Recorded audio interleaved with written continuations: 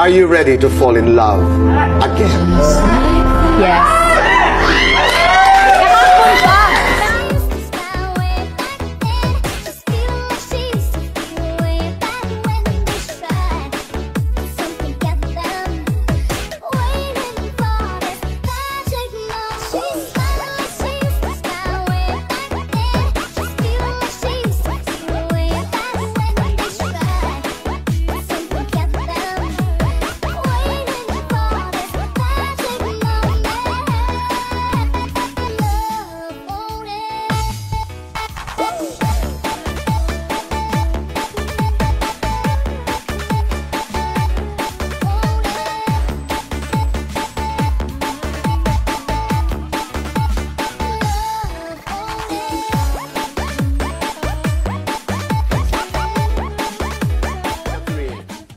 Yes or no? Are you ready to fall in love again? Yes. Kahapon pa! Kahapon pa! Ready, ready na sino yan.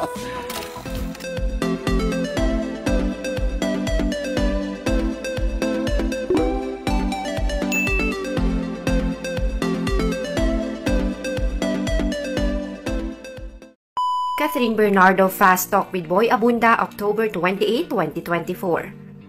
Ngayon nga in-air ang guesting ni Catherine sa Fast Talk with Boy Abunda. Pero ito ay kinunan pa noong October 2, 2024. Ito ang araw na lumabas na kung saan nagpunta si Catherine sa GMA at ito rin ang araw na kung saan nag-shooting sila ng kanilang guesting sa Family Feud. Maraming ang itinanong si Tito Boy kay Catherine. Ang naging pattern ng usapan ay hello, love, goodbye, and again. Sa unang parte ng interview ay nagkamustahan lamang sila. Ibinahagi ni Catherine na hesitant siya sa una sa paggawa ng pelikulang Hello, Love Again ngayong taon. Pero maraming mga nag-encourage sa kanya. Ayon pa kay Catherine, hindi raw mawawala ang pressure sa kanya sa Hello, Love Again. Kahit pa hindi ito sinasabi sa kanya, pero nararamdaman niya ito. Unexpected rin daw ang naging success ng Hello Love Goodbye noon na talagang napakainit ng suporta sa kanila ng publiko. Pero hindi siya nag expect ngayon ng kahit na ano sa Hello Love Again. Tinanong rin si Catherine kung ang hello daw ay mag-turn into a goodbye and not painful. Ayon kay Catherine, lahat raw ng goodbye ay painful. Pero may goodbye na positive when you say goodbye and thank you. It means you are grateful of your memories that you have. Ayon dito, at least, you're gonna end it with gratitude. Nilinaw rin ito na sa past relationship niya na nag-goodbye siya at nagpasalamat. Ayon kay Catherine, she's grateful sa memories at yung 11 years ng kanyang buhay ay kasama ang kanyang past relationship noon. At ayon pa kay Catherine, hindi raw siya mag-grow ngayon at makakarating kung nasan siya ngayon kung hindi niya pinagdaanan ang 11 years na iyon. Kaya naman, no regrets daw ito para sa kanya. Tinanong din si Catherine kung saan siya mas similar, kay Joy o kay Marie. Ayon kay Catherine, mas similar siya sa mix ni Marie and Ethan ngayon. Yung pagiging fun ni Ethan at yung pagiging firm ni Marie kung paano mo muli i-earn ang trust and forgiveness. Ayon pa kay Catherine, when it comes to forgiveness naman, nabanggit ni Catherine na dapat package ang forgiveness. You forgive yourself first, and then you forgive the one who hurt you.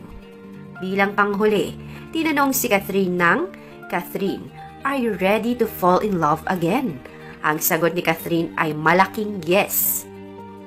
Samantala, narito naman ang mga katanungan sa kanya sa 2 minutes fast talk with Catherine. Heto na nga, nang gawin ni Catherine at Tito Boy ang fast talk with Boy Abunda, tinanong si Catherine kung Alden o Ethan.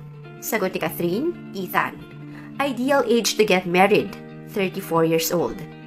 Naiinis ka kay Alden kapag sabaw ito kausap. Natutuwa ka kay Alden kapag pinagtitripan ko siya. Nagagwapuhan ka kay Alden kapag maayos at malinis yung buhok niya. Gaano kasaya ang puso mo ngayon?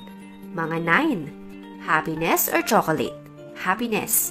Best time for happiness? Anytime. And lastly, one word to Catherine today. I feel loved. Iyan nga ang kabuuan ng pinag-usapan at tinanong ni Tito Boy kay Catherine sa Fast Talk with Boy Abunda. Kaya naman, masasabi natin ngayon na in love na nga talaga si Catherine at naka-move on na nga ito.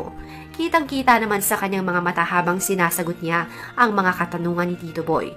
Kapag pinag-uusapan ang kanyang past, makikita natin ang genuinity nito sa pagsagot at ang kanyang mga mata na tila ba talagang napatawad na niya ang kanyang sarili at ang taong tila ba na nakita sa kanya. At kung pag-uusapan naman ang recently or present tungkol sa kanyang pag-ibig at love life, kitang-kita rin na kumikislap ang mga mata ni Catherine at talaga namang masayang masaya ito. Ayon pa rito, she felt love na nga talaga ngayon. Kaya naman, salamat kay Alden Richards, sa kanyang pamilya, sa kanyang mga kaibigan at mga taong nagsusurround sa kanya na nagbibigay sa kanya ng tunay na pagmamahal at tunay na kasiyahan. Are you ready to fall in love again? Yes.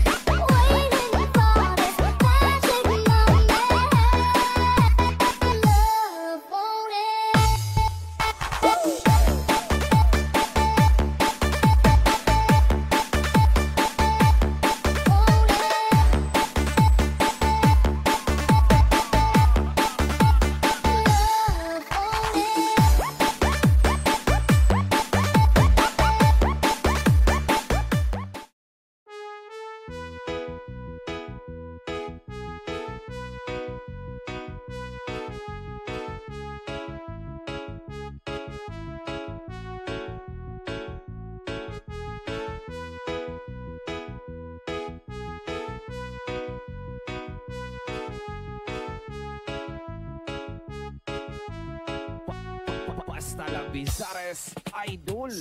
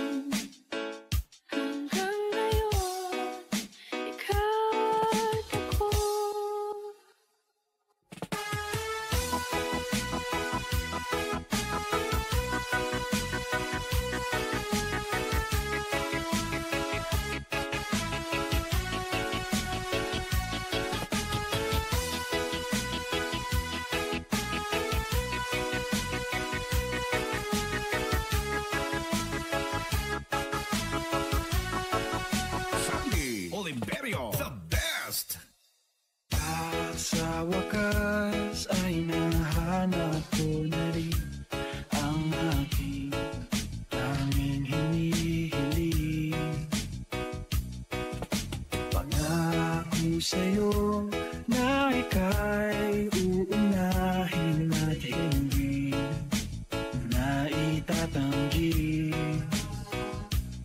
Ang tadhanang nahanap ko sa iyong pagmamahal.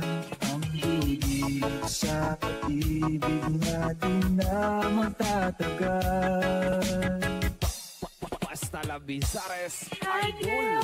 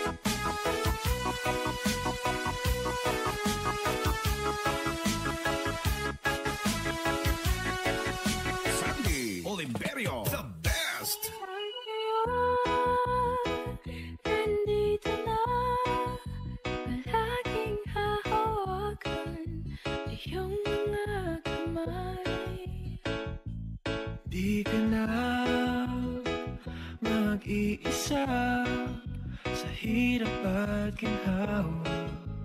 Iibigin